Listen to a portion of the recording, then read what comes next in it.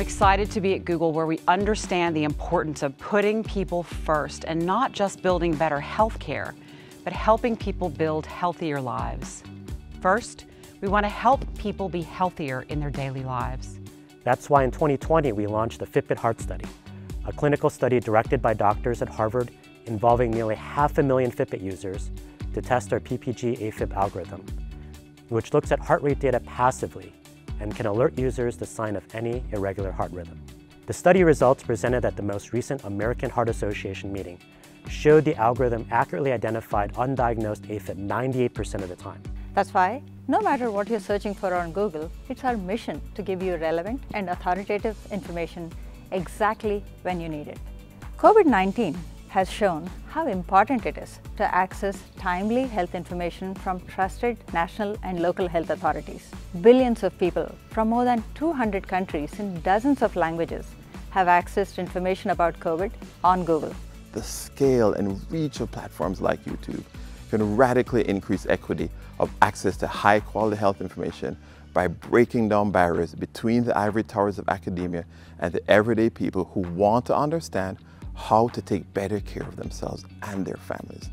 Second, we also partner with their caregivers, providing tools and technology to offer the highest quality, most equitable care. With over 4 billion smartphone users globally, there is an enormous opportunity to increase the accessibility of screening and affordability of care. The modern methods of artificial intelligence, particularly in real-time and on-device machine intelligence, which allows to run very complex machine learning models which understand human emotions on very inexpensive and very easily accessible computing hardware, such as the one we're using in a Google Tag. Tag is a small computing module which is designed to go anywhere where you want to put computing in. So the goal of this early R&D project is to see if we can replicate the results of the gait lab using the Google tags. If we can do this, this means that we can replicate the same type of analysis in the lab outside in the real world.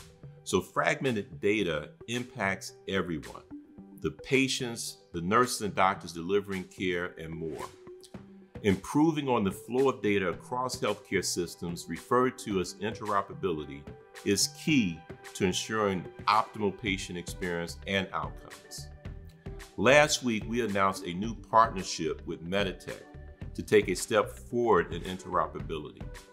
This partnership aims to combine our data harmonization, search, and summarization capabilities from Google Health's Care Studio product suite and integrate them into the Meditech Expanse electronic medical record system.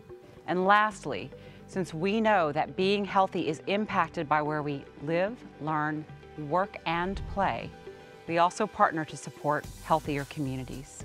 Some health workers often need to deliver care in areas with unreliable connectivity. We've designed the SDK to allow Android apps to run offline with no connectivity by storing and processing data locally. The FHIR SDK is part of our mission to democratize access to high quality care through mobile devices ultrasound technology is becoming more portable and more affordable. Yet, up to half of all birthing parents in developing countries are not screened at all while pregnant. Among the barriers to access is a shortage of expertise in reading ultrasounds. Our goal is to simplify barriers to acquiring and interpreting ultrasounds. How do we do that? by supporting more people like midwives and community health workers to provide care. PowerMom First and PowerMom is about everyday people working with researchers to find an answer, to find solutions.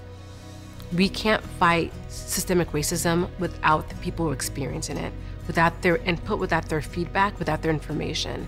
And we, as doctors, as researchers, want to work with this population. We want to make it easier, we want to hear you, and we want to make it better.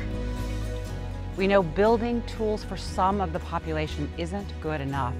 We cannot leave anyone behind.